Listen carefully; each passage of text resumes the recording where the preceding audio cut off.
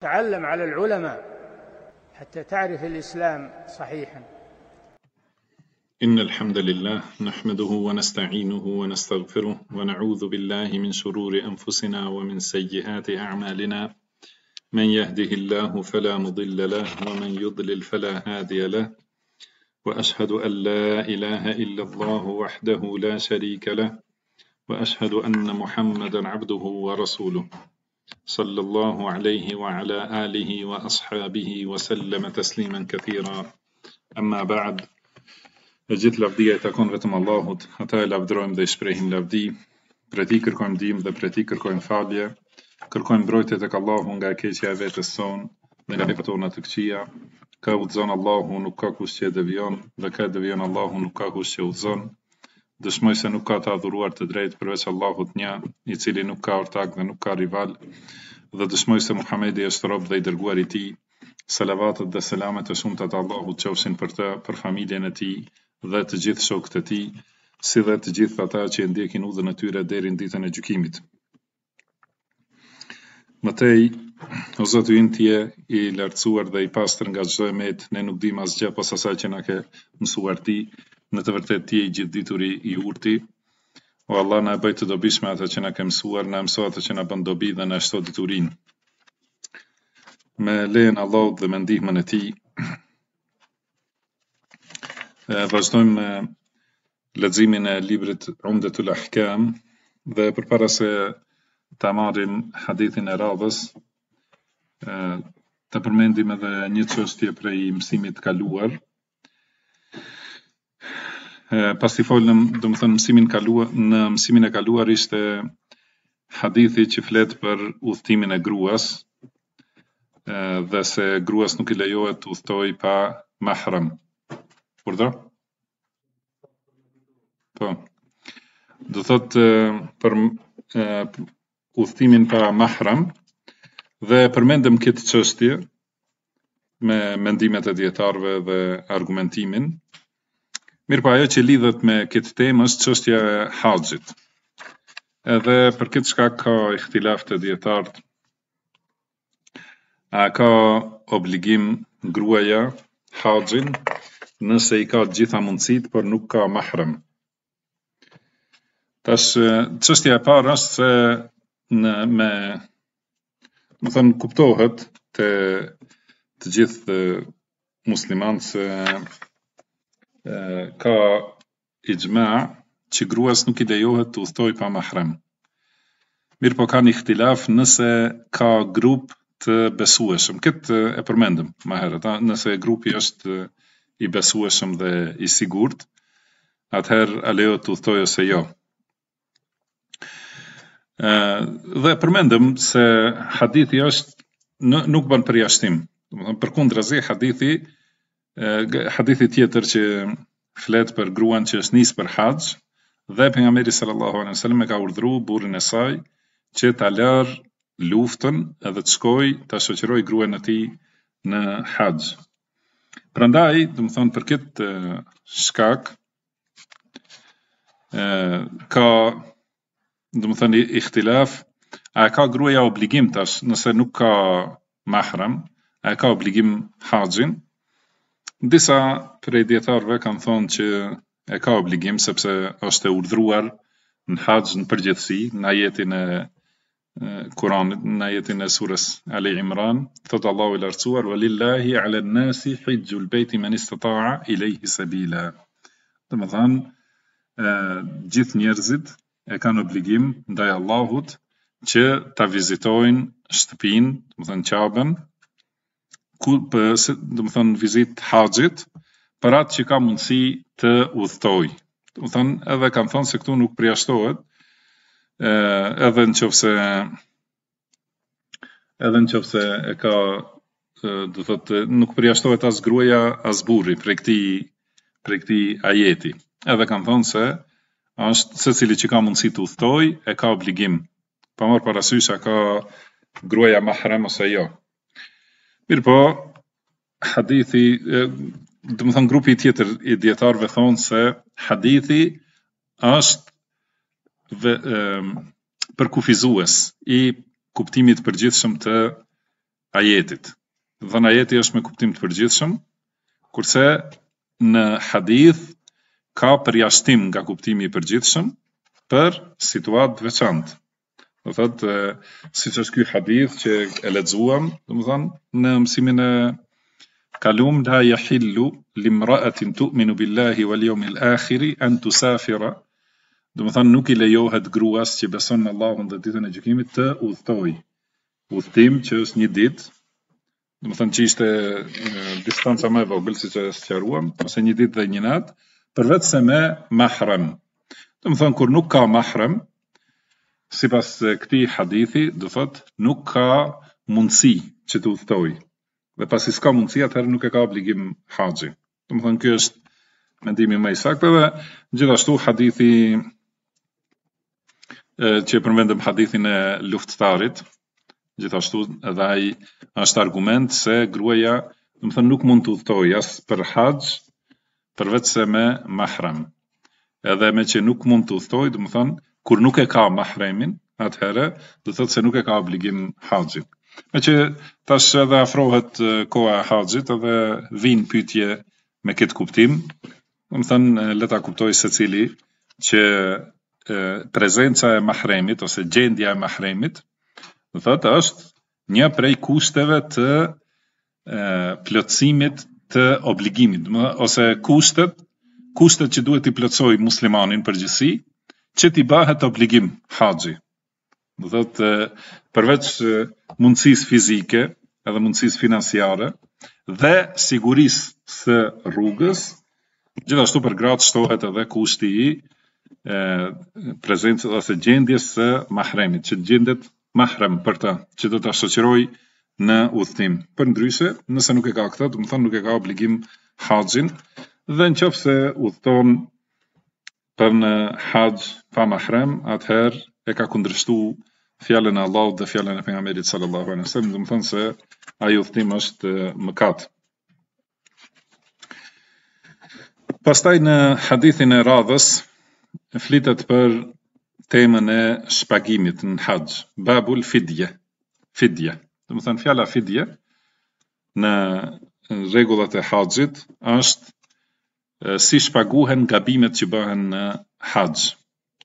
Do thotë siç është për shembull si si thuhet siç është sexhdja e harresës, sehvi sexhdja për namaz, ashtu është fidja për në për gabimet e haxhit.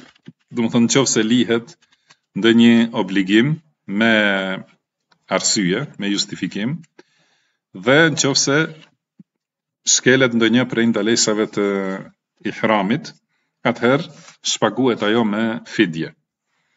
Dhe si i bahet fidja, është sqaruar në këtë hadith, ku ka thonë, pra thotë autori, an Abdillah ibn Maqil, transmetohet nga Abdullah ibn Maqil, se ka thonë, xhelestu ila Ka'b ibn Ujra, e jam ulur, domethënë eh, kam prezentu te Ka'b ibn Ujra, radhiyallahu Ujra, radhiyallahu anhu, thotë fasaaltuhu an al-fidya, dhe kam pyetur për fidjen. Dhe ka thënë nazalat fiyya khassa wa hiya lakum 'amma. Ka thënë eh, pra ka zbritur për mua në veçanti, por është për të gjithë ju, për gjithë muslimanët në përgjithësi. Pra Ka'b ibn al-Ujra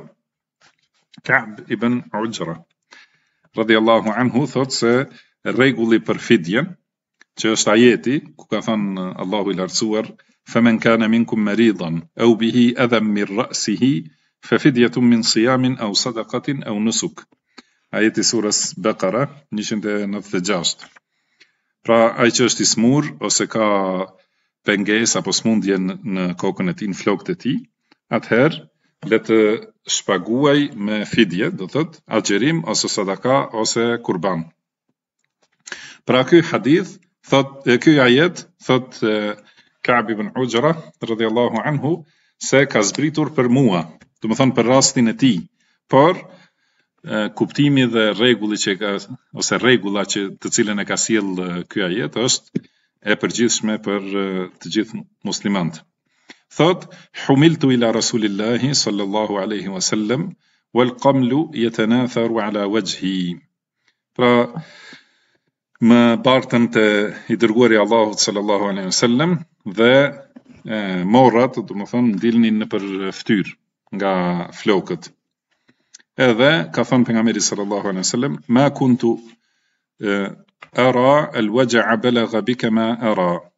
Domethënë nuk e kam mendu që sëmundja ka arrit deri në nivelin të cilin po e shoh, ose ka në tjetër transmetim ma kuntu ara el xhehde belega minke ma ara, domethënë nuk e kam mendu se të ka rraskapit, do të thotë të ka arrit lodhja, pra prej sëmundjes, në kët nivel që e shoh, i ka thënë e texhidu shaten, domethënë a ke mundësi, a ke një dele,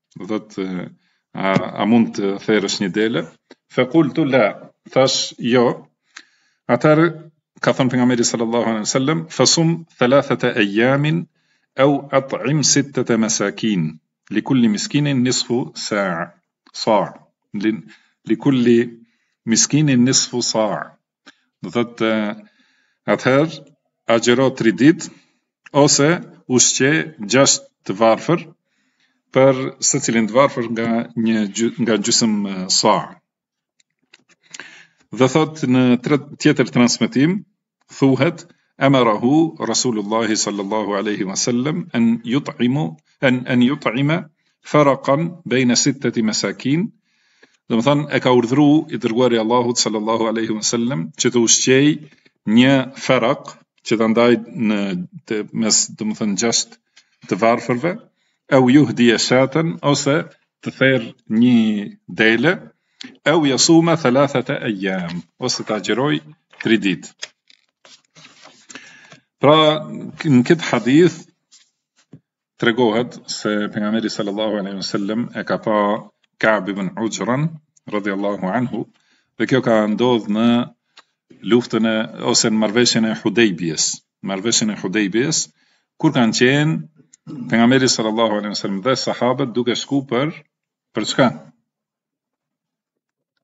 për për umre, për umre. Domethënë kanë qenë në ihram. Qëllimi është se kanë qenë në ihram. Dhe domethënë se Ka'b ibn Ujra ka qenë në ihram, ka qenë muhrim. Dhe në ihram ndalohet Domethënë prerja e flokëve ose rruajtja e flokëve ose shkulja e qimeve kështu me radh, një prej ndalesave të ihramit. Mirëpo, ka, ka pas një smundje, domethënë në lëkurën e kokës, të atill që nuk ka mund t'i heq morrat, domethënë nga flokët, Edhe atëherë, do thotë për këtë shkak nga pastër nga papastërtia që ka dalë nga lëkura për shkak të smundjes, domethënë nuk ka pas tjetër zgjidhje përveç se t'i heq flokët.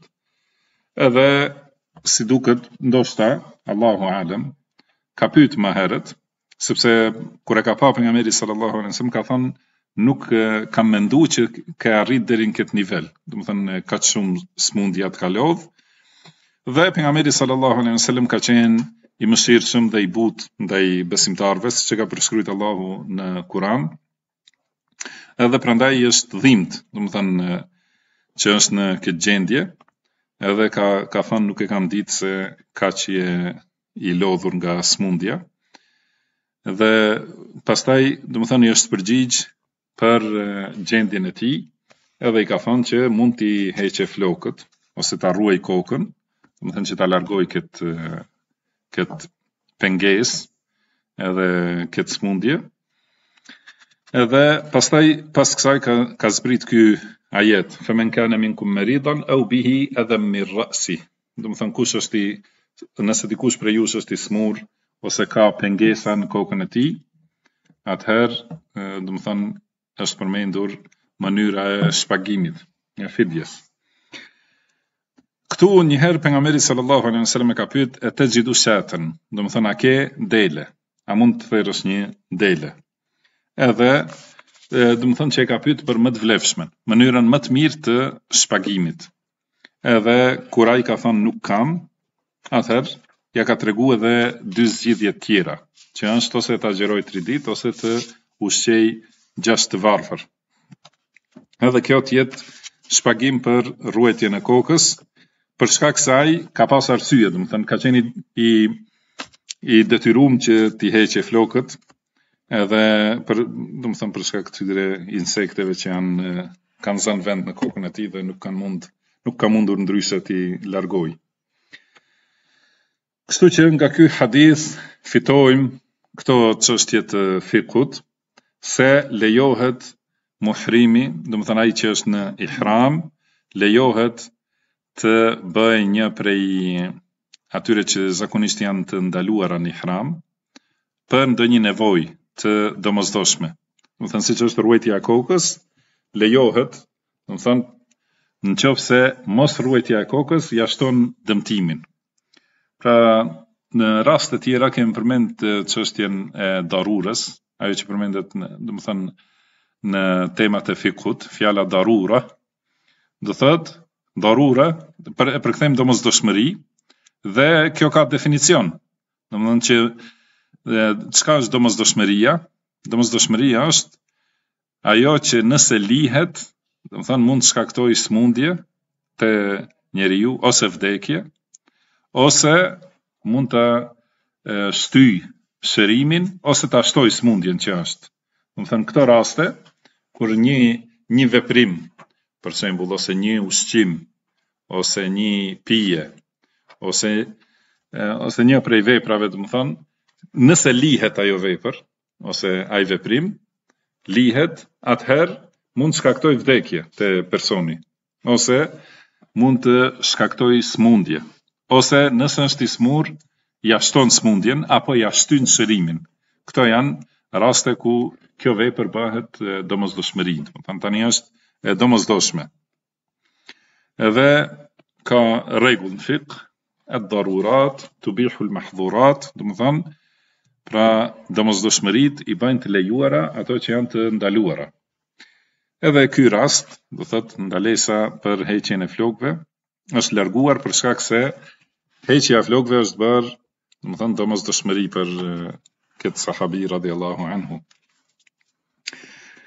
Edhe nga ana tjetër, nga ky hadith përfitojmë se ky është një argument që tregon se heqja e flokëve Në ihram është e ndaluar, përveçse për domosdoshmëri, përndryshe duhet, domethënë ndalohet, ndalohet.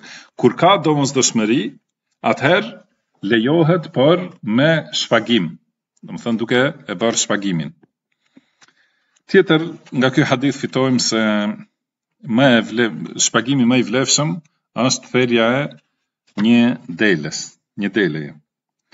edhe prej ky ky lloj i kurbanit, domethënë është prej llojeve të veçantë që quhet fidje, domethënë është obligim të theret në haram, domethënë brenda kufijve të Mekës dhe i gjithë mishi t'u shpërndahet të varfërve të Mekës. Domethënë kjo është rregulli, pra nuk ka në prej fidjes, domethënë që përfiton vet ai që e ka therë, domethënë duhet gjithë mishin t'ia shpërndajë fukarave të Mekës. Kjo është më i vlefshmi, pastaj domethënë Gjithashtu ka të drejtë ose ta bëjë këtë, ose ta bëjë, domethënë agjerimin 3 ditë ose ushqimin e 6 të varfërve me ushqim jashtë, domethënë çështjes së mishit. Duke i dhënë secilit të varfër nga gjysëm sa.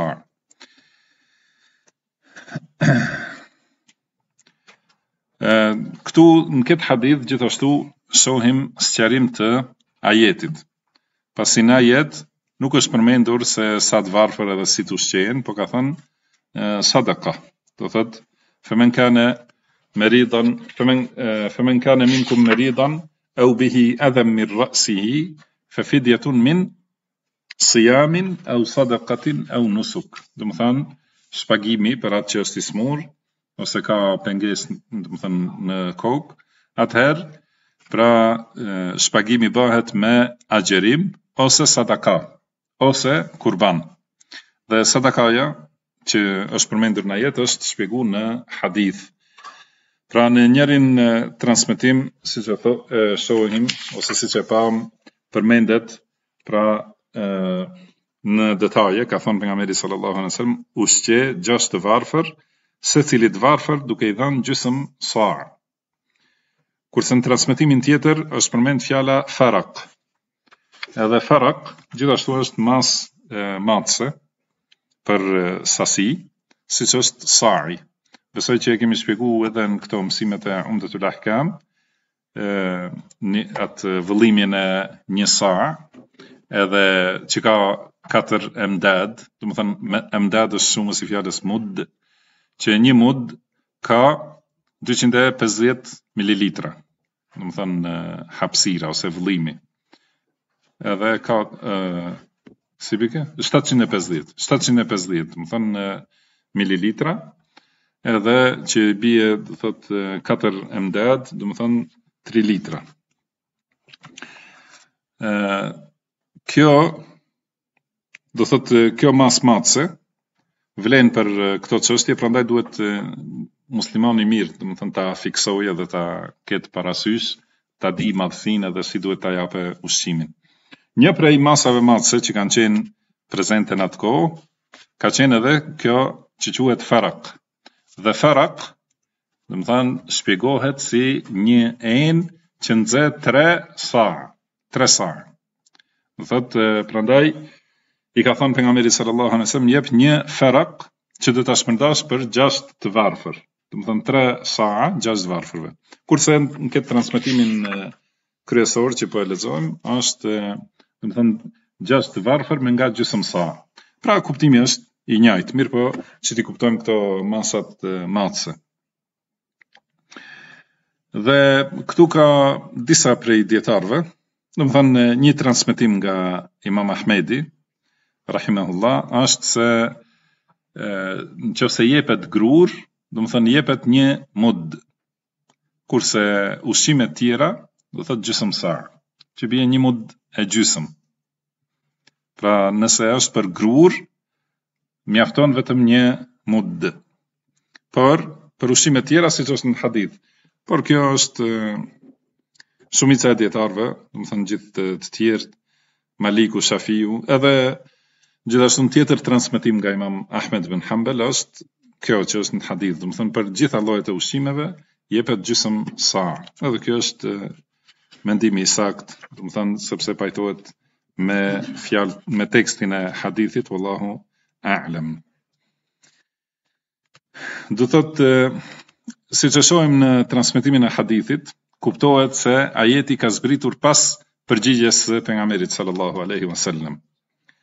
Edhe kjo i bie se vahji, domethënë shpall pra shpallja e Kuranit vjen në përputhje me hadithin që është thënë më herët.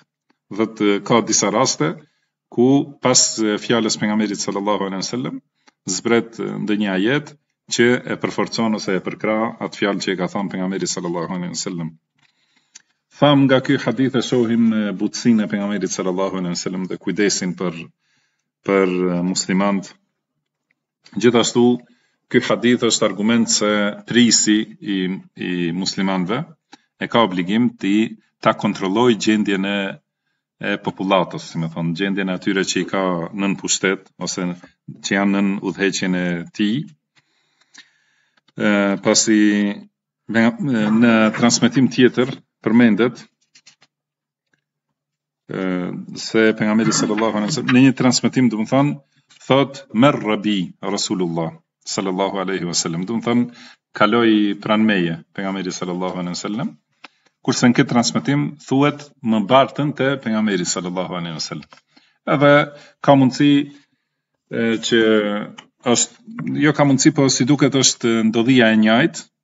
Prandaj nënkupton se e kanë marrë për ta çu te pejgamberi sallallahu alaihi wasallam dhe gjatë kësaj ka kalu, domethënë ka ardh pejgamberi sallallahu alaihi wasallam gjithashtu për ta kontrollu gjendjen e tij.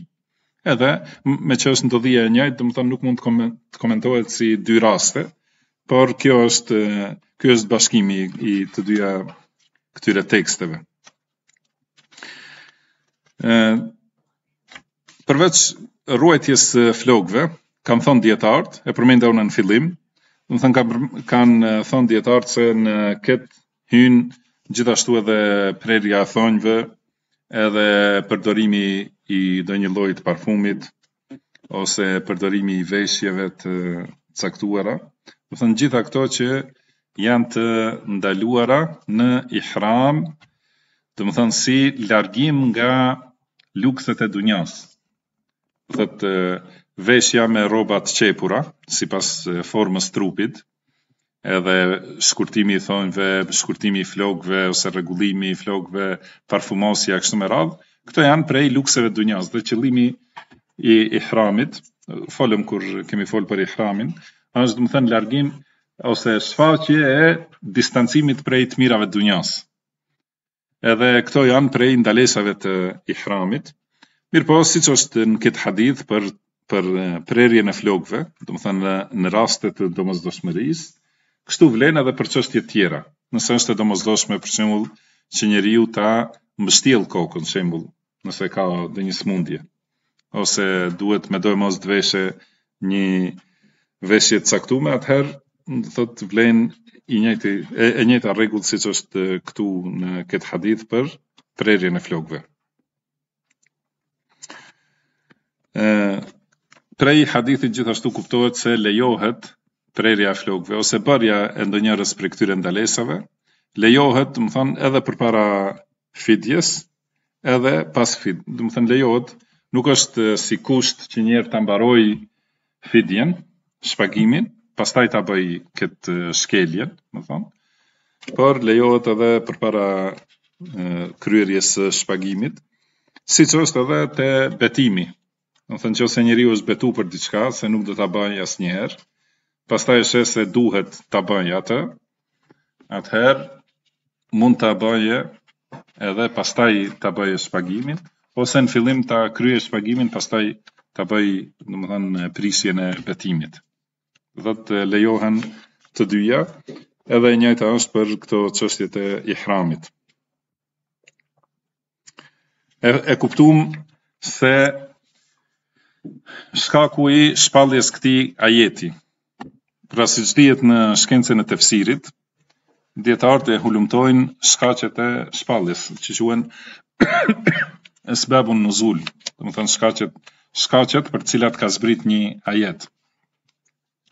Edhe kjo është shkencë e veçantë ose lëmi e veçantë dhe madhështore prej lëmive të diturive islame, edhe në veçanti prej lëmive të të tefsirit, që e tregojnë gjithashtu madhështinë e librit të Allahut subhanehu ve teala, që secili ajet edhe në shumë aspekte, domethënë madhështia e Kuranit, Domethënë që është një prej argumenteve të shumta dhe të panumërta se Kurani është fjala e Allahut, të cilën e ka zbrit i gjithëdituri, i urti, e ka zbritur Allahu subhanahu wa taala pjesë pjesë, edhe secili ajet ka ardh, domethënë për ndonjë shkak, ndonjë ndodhi që ka qenë ose ndonjë pyetje, për shembull që ka ndodh, edhe kur e shohim, domethënë ai është i qartë se është libër i kompletum, Domethënë, qoftë se kishte qenë vepër e një njeriu, thotë nuk është e mundur që ta ketë kompletu një herë,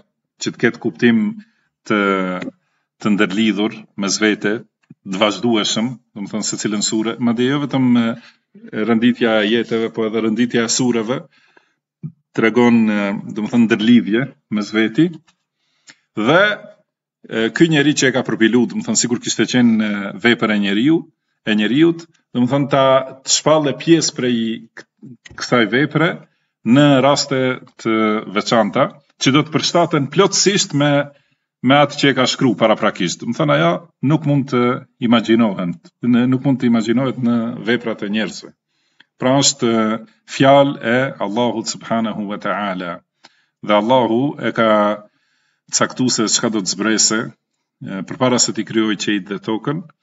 Edhe Allahu subhanahu wa taala është i gjithdijshëm edhe për atë që ndodh te njerëzit. Edhe prandaj ka ardh Kurani i ndar gjatë zbritjes së tij brenda 23 viteve, dhe është mas 23 viteve, domethënë është kompletu si një libër i përsosur. Domethënë në të cilin nuk ka mangësi, nuk ka kundërthanje, gjithashtu. Kjo është një. Dhe tjetra që e tregon po ashtu madhështinë e Kuranit, është edhe kujdesi i këtij umeti për këtë Kuran. Domethënë, Allahu subhanahu wa taala ka thënë inna nahnu nazzalna dhikra wa inna lahu lahafidhun. Domethënë ne kemi zbritur Kur'anin dhe ne e mbrojmë atë ose e ruajmë atë. Edhe prej ruajtjes që ia ka dhënë Allahu këtij libri është që e ka çu te ky umet Te umeti ma i mirë. Allahu ka thënë kuntum khajra ummetin ukhrijat lin nas. Domethënë ju jeni umeti ma i mirë që është nxjerr për njerëzimin. Dhe ky umet sahabët e pejgamberit sallallahu alaihi wasallam wa radiyallahu anhum pra janë kujdes që secilën fjalë ta ta mësojnë dhe ta thellojnë zemrat e tyre me kuptimin e saktë që e ka shpjeguar pejgamberi sallallahu alejhi ve sellem, edhe duke e mbajtur mend saktësisht se në cilën datë ka zbritur, në cilin vend, edhe si përgjigje e cilës ndodhi. Dhe domethënë kjo është po ashtu prej mrekullive të madhrishme të Kuranit, Kurse çështja e njohjes së shkaqeve të zbritjes së ajeteve është e rëndësishme për kuptimin e ajetit, për ta arritur, domethënë kuptimin edhe për ta marrë vesh mirë domethënien edhe gjykimin që e sjell ai ajet. Dhe rregulli në Islam është që ë do të thotë nuk merret parasysh vetëm veçantia e e shkakut, por merret parasysh përgjithësia e domethënies. Çka do të thotë kjo? Si ka thënë Kab ibn Uxhra, radhiyallahu anhu, ka zbrit për mua në veçanti, por është për ju në përgjithësi. Domethënë shkaku është kjo ndodhi që i ka ndodhur Kab ibn Uxhra. Por, nuk domethënë se vlen vetëm për të, por vlen për gjithë muslimanë që i kanë këto situata të ngjashme, domethënë vlen njësoj gjykimi. Pra kjo është si rregull që ta kemi parasysh, do të thotë në secilin ajet, kur përmendet shkaku i shpalljes së atij ajeti, do të thotë ajo që merret në konsideratë për normat e sheriatit edhe rregullat që i ka sjell ai ajet, konsideratë merret kuptimi i ajetit, jo vetëm shkaku i zbritjes, por shkaku është ndihmë e madhe për ta kuptu domethënien e ajetit edhe kuptimin e atij ajeti. Mirë, domethënë tani një çështje tjetër është lidhur me këtë, për çështjen e zgjedhjes së shpagimit, cilën duhet ta zgjedh muslimani, domethënë nëse duhet të bëjë shpagim. Këtu janë përmendur tri, domethënë therja e kurbanit, ë është përmendur, do thotë agjërimi i tri ditëve dhe ushqimi i gjashtë të varfërve. Cila është, cila ka përparësi? Ka pak ihtilaf te dijetarët Për shkak të këtij transmetimi që e përmendëm këtu, sepse i ka thënë pejgamberi sallallahu alejhi wasallam në fillim etexhidu shaten, domethënë a ke një dele. Dhe kur i ka thënë jo, atëherë ja ka përmend dy tjerat. Prandaj kanë thënë disa që në fillim është delja, pastaj nëse s'ka, atëherë ose mund ta zgjedhë, domethënë ose të agjërojë ose të ose të ushqej gjashtë të varfër. Por kuptimi i ajetit është i përgjithshëm. Në ajet Allahu ka thënë fefidjetun min sijamin, domethënë mund të bëjë shpagim me agjerim ose sadaka, dhe sadakaja u sqaru, ose kurban, domethënë njëra prej këtyre trijave. Edhe kjo është e sakta se do të Edhe pejgamberi sallallahu alejhi wasallam në transmetime të tjera që janë përmendur të kësaj ndodhie, në të gjitha transmetime të tjera përmendet zgjidhja, domethënë e barabartë mes këtyre tri zgjidhjeve. Pra siç është në në transmet në një prej transmetimeve ka thënë ihliq ra'sak wasum thalathata ayyam au at'im sittata masakin au unsuk shatan. Domethënë i ka thënë rruaje kokën dhe agjëro 3 ditë ose ushqe 6 të varfër ose ther një dele. Edhe domethënë transmetime të tjera që e kanë këtë domethënie, do thotë zgjidhje të zgjidhjes do të thotë.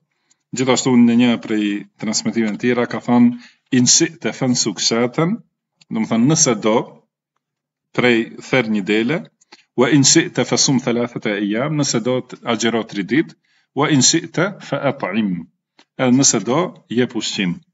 Domethënë këto janë që e tregojnë kuptimin tekstual edhe të ajetit. sepse në ajet janë përmendur me këtë shprehje të zgjedhjes, jo përparësisë të njërës para tjetërës.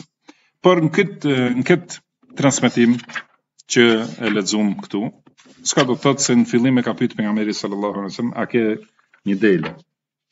Dhe kur ka thënë jo, atëherë i ka thënë tjerat, kanë thënë se është për qëllim se e ka përmend atë të shpagimin më të vlefshëm. Më i miri prej këtyre shpagimeve është dele. Por meqë i ka thonë se s'ka dele, atëherë ja ka përmend dy opsione të tjera. Domethënë, janë opsione të barabarta të, të trija. Wallahu a'lam. Tema tjetër në vijim është për, me thonë, shenjtërinë e Mekës, ose ndalesën e Mekës në disa aspekte, dhe meqë është temë pak më e gjatë, nuk po e fillojmë sonte, edhe gjithashtu për shkak të gjendjes sime, nuk vazhdojmë, nuk po vazhdojmë më shumë, E lusim Allahun që ta bëjë të dobishme atë që na ka mësuar dhe të na mësojë atë që na bën dobi, si dhe të na shtojë diturinë dhe veprat e mira. E lusim Allahun të na japë dituri të dobishme dhe vepra të pranuara. Dhe e lusim Allahun që të na e bëjë ta kuptojmë fenë e tij